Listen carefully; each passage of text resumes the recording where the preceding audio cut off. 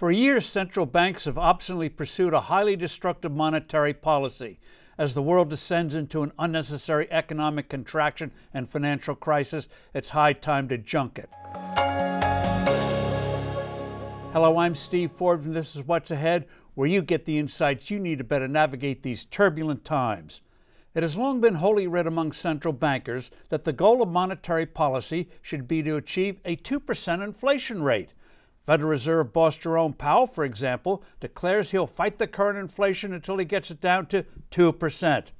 However, this goal is a critical reason why we're in such a deadly economic mess today.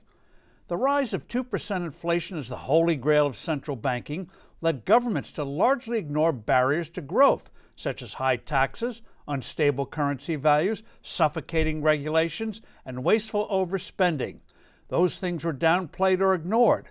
By not tackling such structural obstacles, the result has been more than a generation of subpar economic growth and ballooning government debts.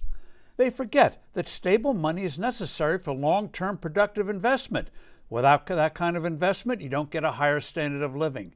How in the world did this 2% inflation fixation come about? When the U.S. destroyed the post World War II international gold standard, the question for central bankers became if your currency isn't pegged to gold, what metrics should guide monetary policy? Their eventual answer let's target inflation itself. Amazingly, the 2% rate was picked by a New Zealand central banker out of thin air. Numerous countries, including the U.S., followed suit. The flaws of this approach are profound and fundamental.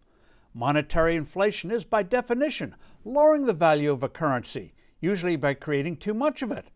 Higher prices are a symptom, a result of inflation, not its cause. Yet astonishingly, just about the entire economics profession has ignored this truism. There's the practical problem of which index to use.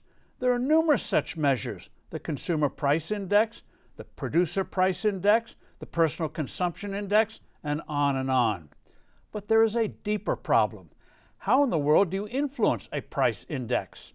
Central bankers mistakenly assume that economic growth causes inflation. So they think that by printing more money, they'll stimulate growth, which will create higher prices. Or, in the face of higher inflation, do the opposite print less money. In the late 1970s, for example, during the Great Inflation, the Fed tried to do that and flopped.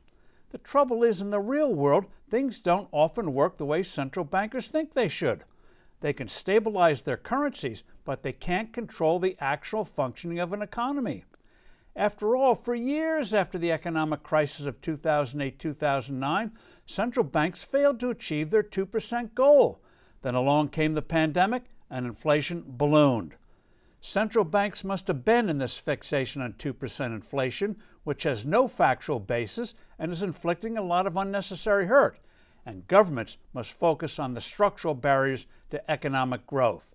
I'm Steve Forbes. Thanks for listening. Do send in your comments and suggestions. I look forward to being with you soon again.